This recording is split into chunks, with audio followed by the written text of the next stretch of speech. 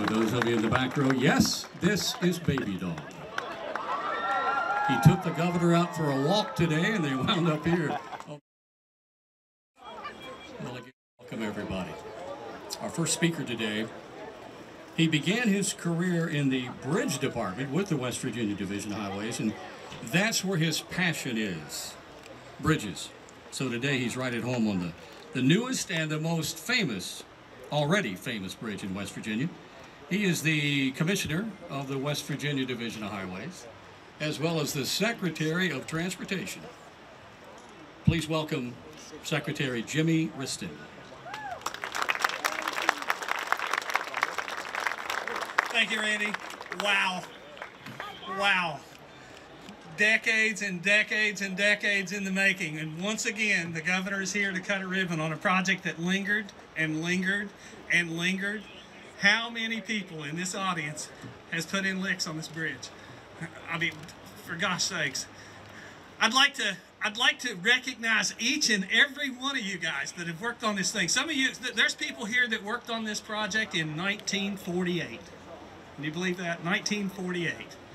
And one of the things that I get asked, and I've been asking all week, you know, we've done quite a few interviews about, about the coming opening of the bridge and the ceremony today. The biggest question I've been asked is, okay, why now? Why now? The answer is very simple. In 2016, we elected the most dynamic governor we have ever had who had a vision. A vision to put transportation at the forefront of our economic recovery to transform our economy, to diversify our economy, and to build the infrastructure that West Virginians and now Ohioans also deserve and appreciate. We have struggled. I mean, I, I really would like to like like to mention each individual that worked on this bridge because it's been a long, long time coming. What I, if, if I did that and I had a list up here, it would stretch probably all the way across the 1,875 feet of the bridge it would at least go the 830 feet of the main span for sure, maybe twice. But uh, so, so what I will do is I will say for each and every one of you, county commissioners, local folks, legislators, all the people that met with the Department of Highways, with our uh, Ohio Department of Transportation folks, with uh, with our great contractor who did a wonderful job here. Well done. Well done, folks. Well done.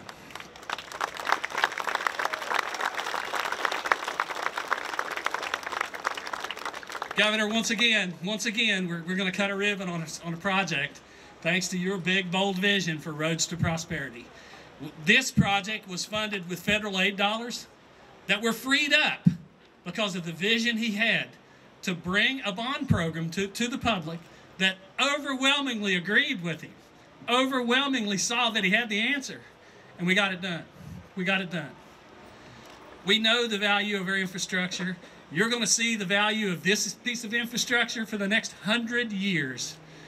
For the next hundred years. The people in Brilliance, Ohio, the people in Wellsburg, West Virginia, will now, instead of, if you live in Wellsburg and work in Brilliant, or vice versa, that 40 minute drive every, every morning and every evening starting tomorrow. Five minutes. Five minutes.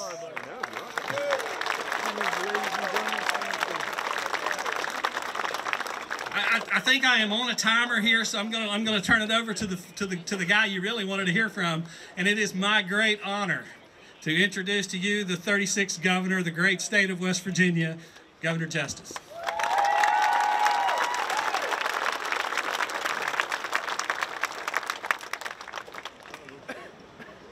Well, I know you really would a whole lot rather hear from Baby Dog than me.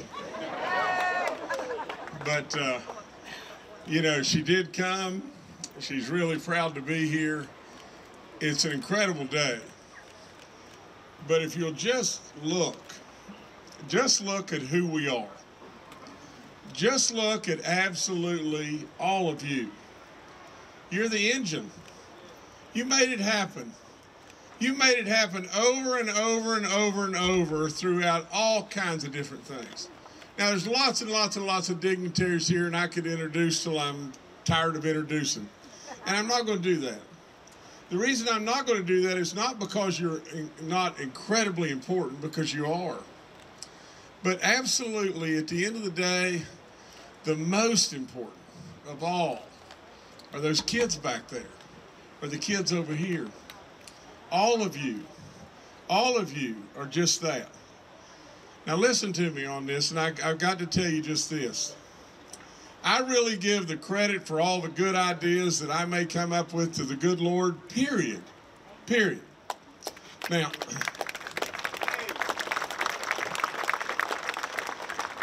I'll take the credit for the bad ideas that I come up with. But I'll give him all the credit for the good ideas. There was a point in time when I was going to be your governor, and I absolutely sat and thought, well, what in the world are we going to do? Then they gave me a set of books, and in all honesty, we were so upside down and so bankrupt it was off the chart. And then, truly, the idea just came out of nowhere. I said, I've got to be able to create an instant job. An instant job. I can't build a field and hope that somebody will come. I've got to create instant jobs because we have got to have people and revenue and all the stuff that goes with it. And then really, I was in the shower and I thought, wonder, just wonder what it would cost to let every road job that's on the books, any and everything that we have, what would it cost us? And really, then we had to find a way to pull it off and do it. And the road bond passed by se- right at 73% of the vote. Again, you. You decided what we were going to do. And off we went. And we don't need to pat any of us on the back and keep patting on the back. What we need to do is just recognize the fact that all of y'all probably got something. You've got, you've got things you could be doing right now, and look what you're doing. You're here because this is really important to all of us. To all of us. I mean, I frankly don't know the people of Brilliant or the people of Wellsburg. I don't know what you're going to do all day now. I mean, my God, it. You just think really of the time you're going to have on your hands and what are you going to do? You know, and it's really good stuff. Life will be better. Life will be better because of a lot of people, not Jim Justice solely by any stretch of the imagination. Life will be better from all these dignitaries, all the people that put in the licks forevermore. But life will be better because of you. I could not be happier. It is an incredible day.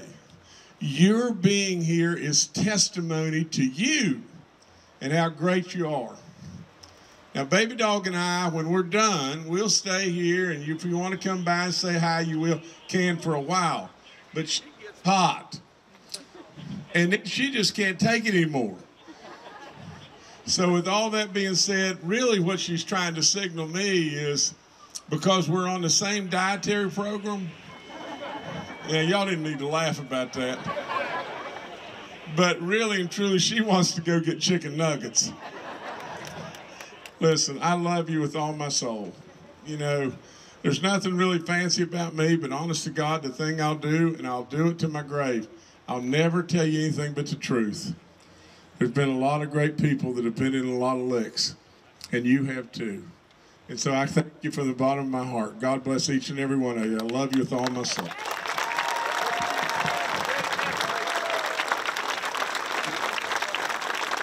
Thank you, Governor. and thank you, Baby Dog. To have a chance to take some pictures here. We're going to move off the stage in a few minutes to the ribbon. And then, as you heard, the governor will rejoin us on stage. Chance for you to meet Baby Dog up close and personal. Well, the contractor chosen to build this bridge was, of course, you know, determined by the lowest bidder. However, the West Virginia Division of Highways was the true winner with a company who we had not worked with before. Well, they proposed building this structure, you know the story. They proposed building it on the ground about a mile up the river and then putting it on a barge and floating it to this position and then raising it to the piers, which, by the way, check your history, that was the heaviest lift in North America when that occurred. You can Google that, or not sure that's still the case, but at that time, three years ago, it was indeed a big deal that Flatiron was able to do that. Nothing short of an engineering marvel. From Flatiron, please welcome Jim Slatterman.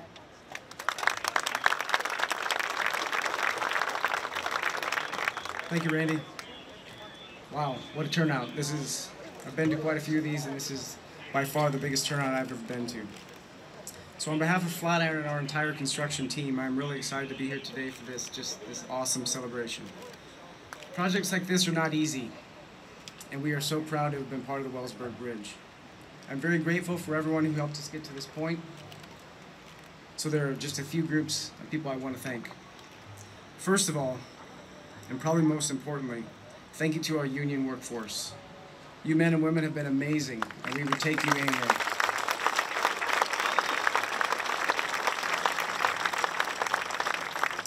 We are forever grateful for all your hard work. Next, thank you to our partners at w, uh, West Virginia WDOH, ODOT, and Stantec. I know it, it wasn't easy, but I think we can be proud of what we accomplished together. Thank you to our design partner, RS&H, and all your sub-consultants. Thank you to all of our local subs and suppliers. We obviously could not have done this without you. And then thank you to our talented Flatiron employees who helped manage this very complex project. And last but certainly not least, thank you to the wonderful people of Wellsburg and Brilliant for putting up with us for so long. This bridge is for you, and we certainly hope you enjoy it. Thanks.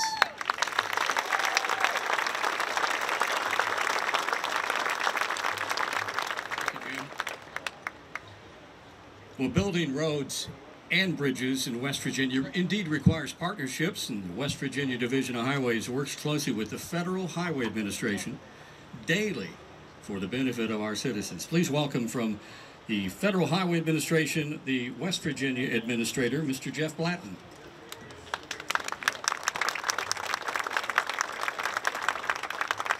Hello.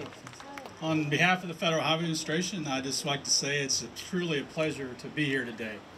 Uh, and I'm like Governor Justice, I'm like Baby Dog, I'm getting a little hot under the collar here. So, um, when Randy asked us to give notes today and speak, uh, we kind of started delving back through our records. And, and, of course, we're fortunate to have a lot of uh, long-standing employees who have worked in this area, myself included.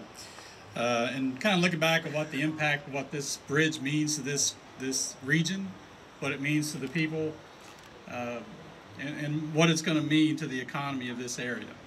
And so, kind of what we came down to was we could we could summarize it in three P's. Uh, the first of that would be persistence. I think, as you know, a large project like this doesn't happen overnight, and it takes a lot of time, effort, and money. Um, I think, as I heard on a local news report uh, a few days ago, this bridge has been talked about for uh, basically 100 years. So that was nice context to understand how long a bridge has been needed in this region. Uh, more recently, say the last 25 to 30 years, uh, BHJ and I, have had personal history working with the MPO here, the Brooke Hancock Jefferson MPO. Uh, they were consistently listing this project as their top transportation priority. So they kept on the pressure and kept uh, that with all the elected officials as well. And eventually we got to this day. So that was um, very helpful to get us to the part where we could build a bridge across the river here. Um, again, I'd also like to particularly recognize the staff of the over the years of the Brooke Hancock Jefferson MPO. Uh, their efforts went a long way to getting us here today, and I would particularly like to acknowledge uh, the former executive director, Dr. John Brown. I, I, saw Dr. Brown there a few minutes ago, as well as the successor, Mike Paprocki. Uh, without their vision and drive, we may have not have got here to this day, great day. Uh, the second P is partnership. And this bridge is a true example of what a partnership can do.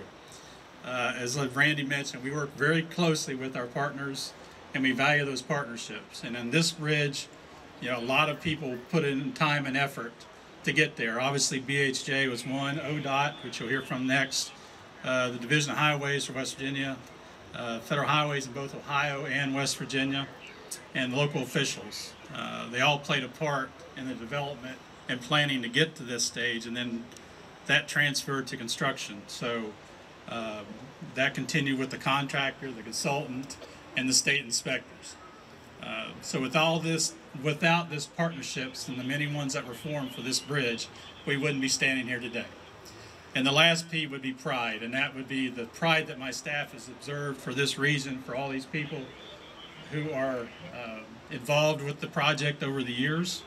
Um, and I think my staff, particularly, uh, made remarks about this, the pride they've felt from everybody who's been involved with this project over the years. Um, lastly, I would like to thank my staff personally at the Federal Highway Administration, both Ohio and West Virginia. Uh, we, again, we really truly value our partnerships, and this is a good example of the work that our staffs do to help support our state DOTs so they can deliver the federal aid program. So with that, I would invite you to enjoy the rest of the day. Uh, a lot of festivities still to go, and enjoy this bridge for the generations to come and all the connections that uh, will result from it. Thank you.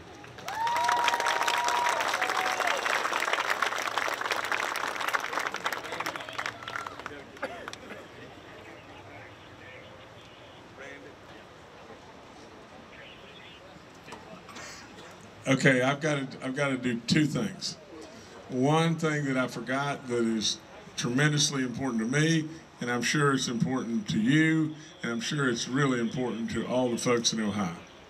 Governor DeWine, you know, I hoped was going to be able to be here with us, and now he's got COVID, and so please keep him in your prayers and everything. You know, we, we want a good, vibrant governor and everything, and we want him right back and re- real back and back real, real, real soon. And the other thing, Randy, is before you go any further, I got to give Baby Dog a drink. You may want to take a picture of this, folks. Just saying.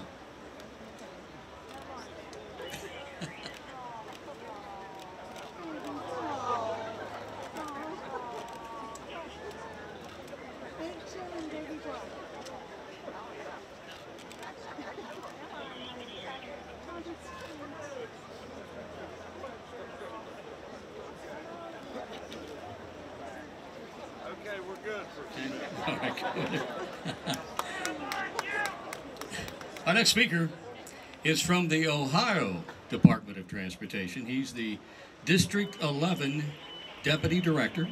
Please welcome Mr. Tom Corey, 27 year veteran. Tom? Thank you, thank you, Randy. Thank you so much. And Governor, thank you, Governor DeWine.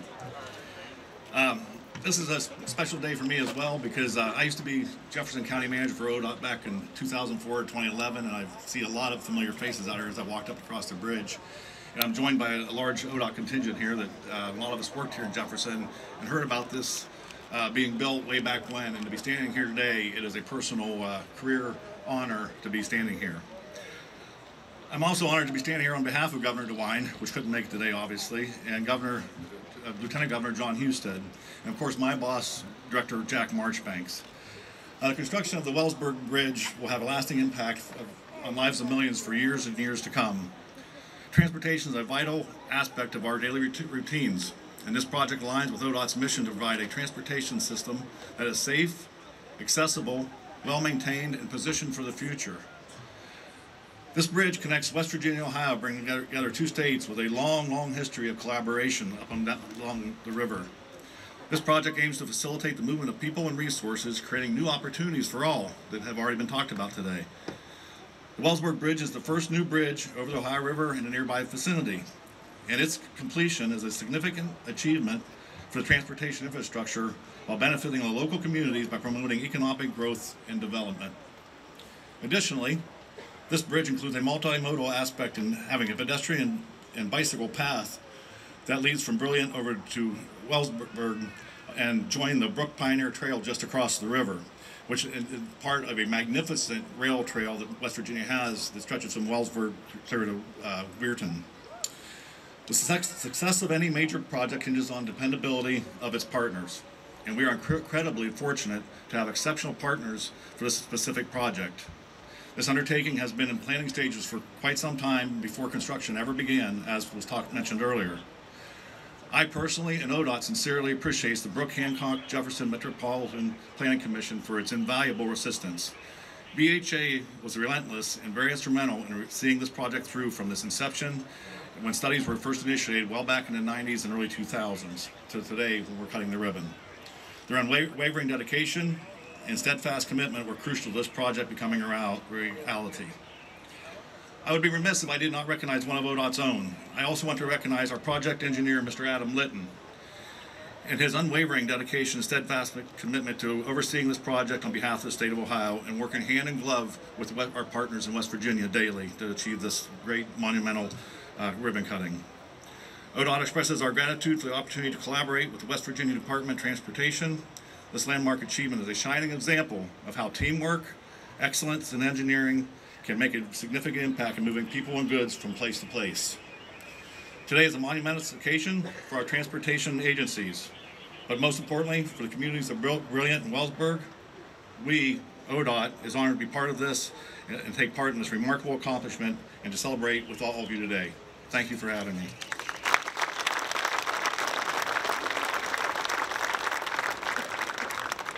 All right. Next speaker, with remarks, no stranger to the West Virginia Panhandle. He represents the 1st District in the West Virginia Senate. Please welcome Mr. Ryan Weld.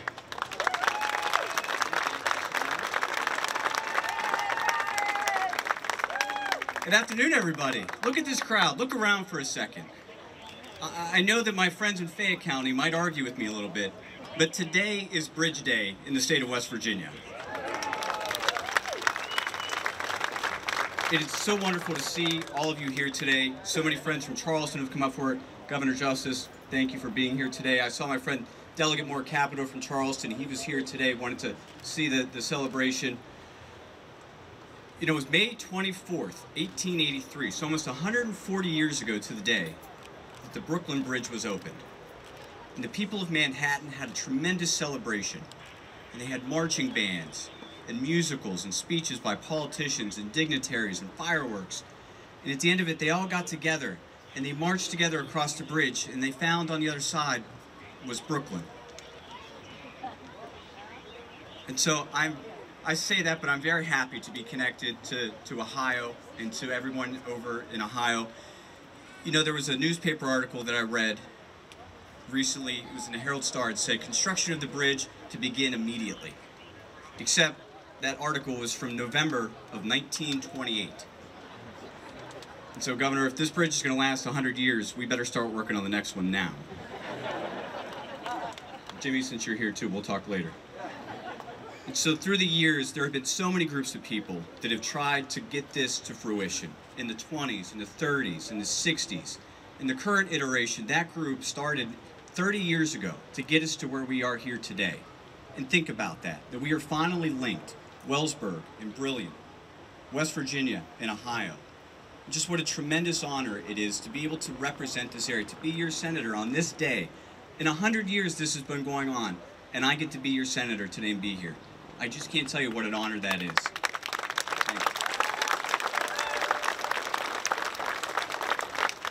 So there are a lot of people to thank, but there's one group in particular that I want to thank. People that I saw every day when I drove past here to go to work or come home. If you worked on this bridge when it was 20 degrees in the middle of January, if you were out here when it was pouring the rain in the middle of the summer, if it was 95 degrees, thank you. Because you all made this happen. You all were the ones that built this bridge.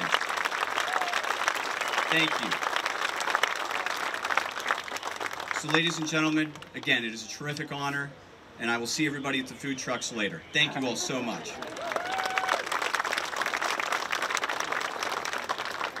I'll join you too, Senator. That's just part of the excitement. We'll talk about that in a moment. Our last speaker is also no stranger to the panhandle. He was a political science major, and the reason I mention that, quote, he got interested in politics because I've always wanted and had an interest in serving the county, unquote. He represents District 3 in our legislature. Would you please put your hands together and welcome Mr. Jimmy Willis?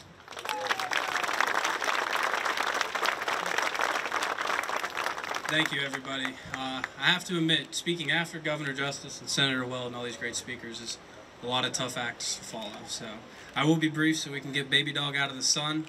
Um, I would like to echo the sentiments we've heard today, thanking the company Flatiron, uh, West Virginia Department of Highways, Ohio Department of Transportation for all the great work and effort they've put here in, into this bridge. And I would like to thank the Wellsburg Chamber of Commerce and everyone who has planned and spent hours upon hours upon hours trying to get this day set up. And I think they've done a pretty good job of it. What does everybody think?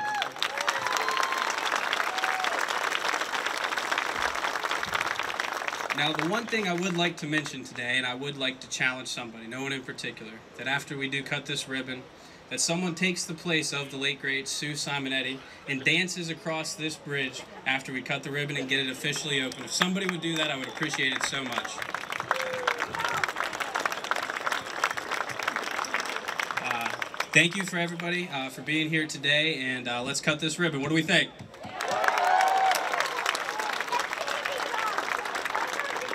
Okay. This is where the um, the picture taking comes in. We're going to come down off the stage and go to the ribbon, but there are a lot of people, and I don't have names. A lot of people need to be in this picture. I know the Chamber of Commerce. We've got our Flatiron representatives, some DOH people. So if you'll start coming this way now uh, to get behind the ribbon. Now, after we cut the ribbon, there's a second ceremony this afternoon, about 1.30, right here on the stage. You'll hear from some uh, local speakers as well. So I hope you'll stay around. As he mentioned, food trucks. There are a couple of car shows going on across the river in Ohio. So please help yourself and enjoy the bridge today. Governor?